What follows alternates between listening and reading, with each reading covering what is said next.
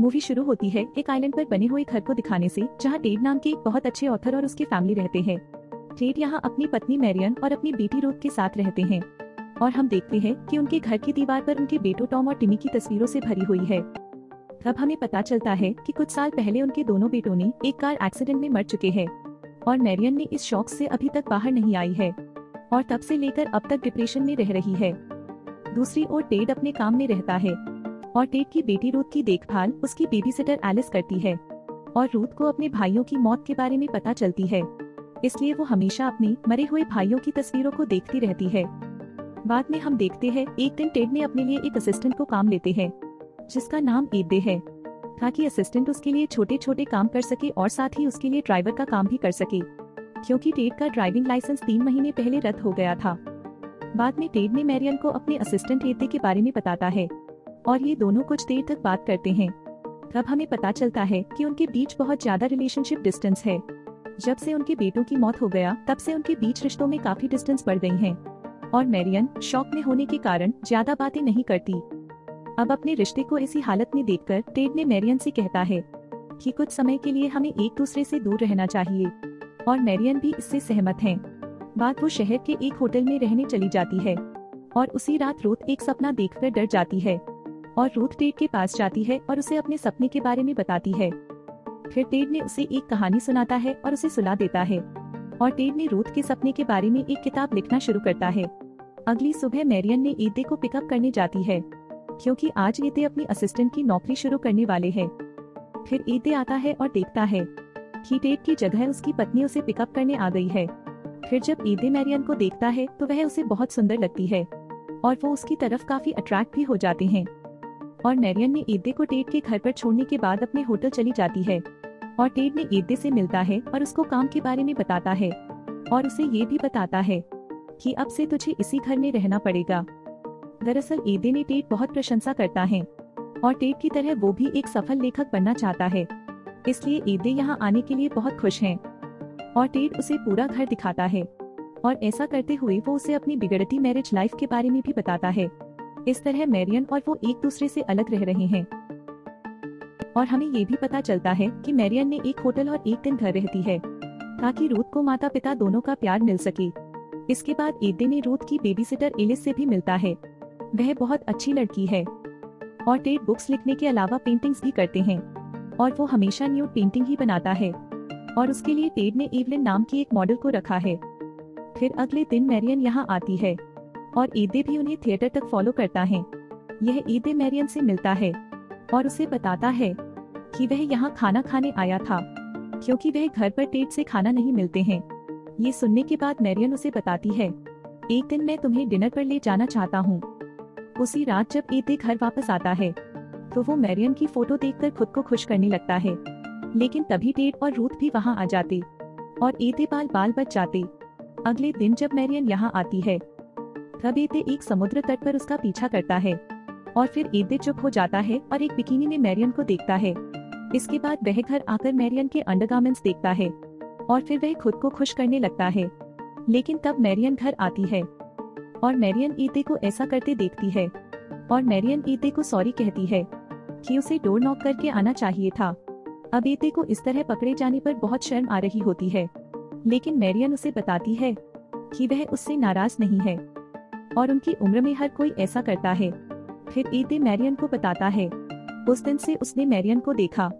तब से वह उसके बारे में सोचता है। ये सुनकर मैरियन कुछ नहीं कहती और चुप रहती है। अगले दिन ईदे ने टेवलो एवलिन के घर पर ड्रॉप करके आता है। बाद में वो देखता है कि मैरियन ने ईदे के लिए उसके रूम में अपनी बिकिनी रख के गई है। फिर उस शाम मैरियन ईदे के साथ डिनर पर जाती है। और मैरियन ईदे बहुत बात करते हैं। मैरियन ईदे से पूछती है कि क्या तुम एलिस को डेट पर नहीं ले जाते? जिसे ईदे कहते हैं कि एलिस को उसमें कोई इंटरेस्ट नहीं है। अब काफ़ी देर तक इसी तरह बात करने के बाद दोनों घर आ जाते हैं। अगले दिन मैरियन ईदे के कमरे में आती है और फिर वह ईदे को दीवारों में सभी तस्वीरों के पीछे की कहानी बताती है। अब ये बताकर मैरियन ने ईदे को सिड्यूस करती है और वो दोनों इंटीमेट हो जाते हैं। अगले दिन टेड ने ईदे के साथ एक जगह जाता है, जहाँ टेड अपनी किताब की कहानी को कुछ लोगों को सुनाता है। तब ईदे को पता चलता है कि टेड की सारी कहानी उनकी ही जीवन पर आधारित है।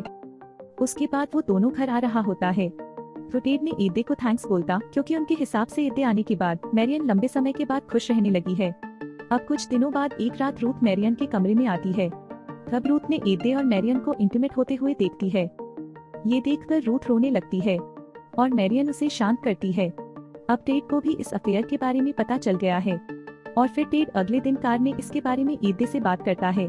टेड उसे बताता है, मैं यही चाहता हूँ जब मैरियन और मेरा डिवोर्स हो, कि आप मैरियन के खिलाफ मेरी ओर से गवाही दें और अपने प्रस्ताव के बारे में बताएँ, ताकि मुझे रूथ की हिरासत मिल सकती है।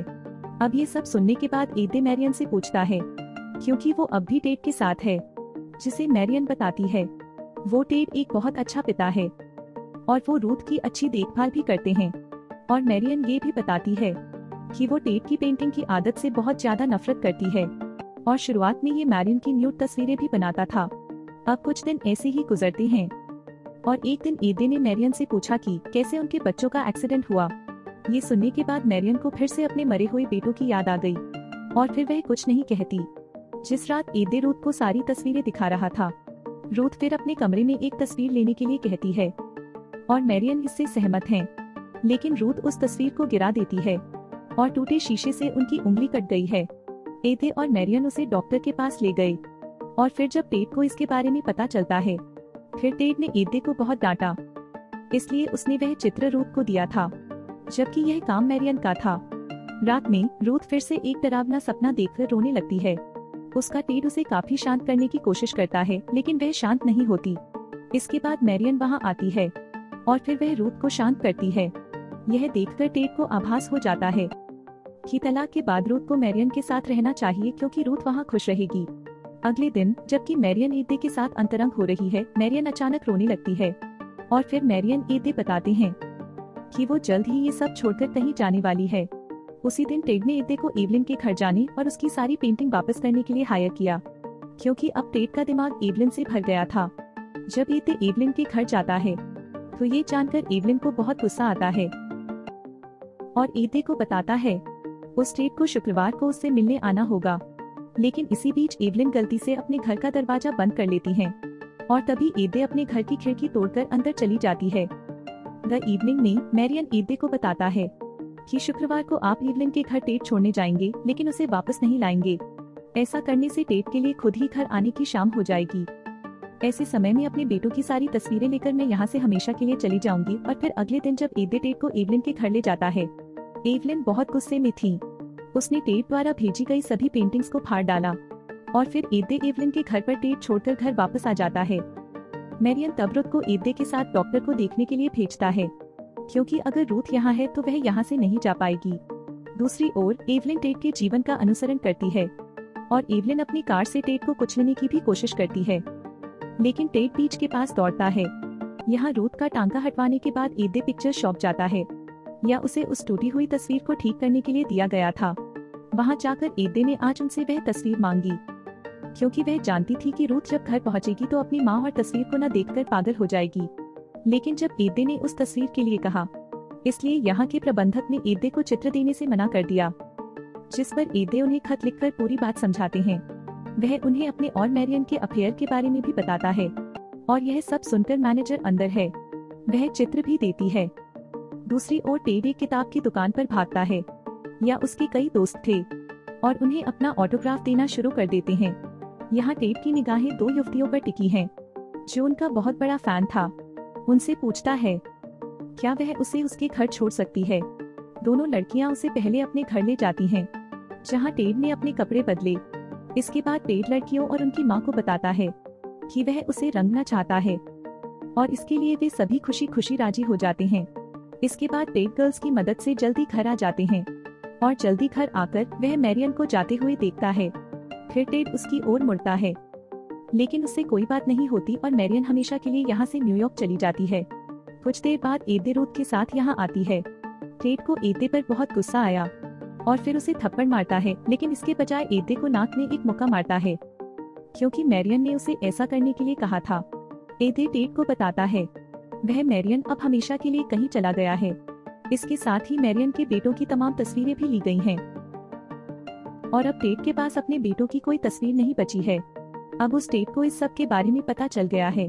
फिर वह ईदे को नौकरी से निकाल देता है और कल ही उसे यहाँ से जाने के लिए कहता है।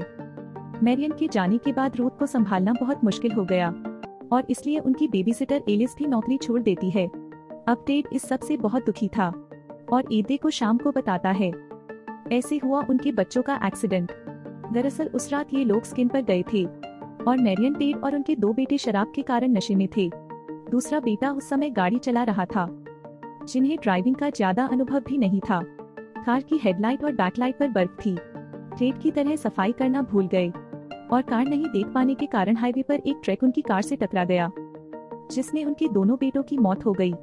इस पीड़ा को कम करने के लिए उसने रूथ को जन्म दिया, लेकिन इससे कुछ भी नहीं बदला। अब इस कहानी को सुनकर ईदे को बहुत बुरा लगता है।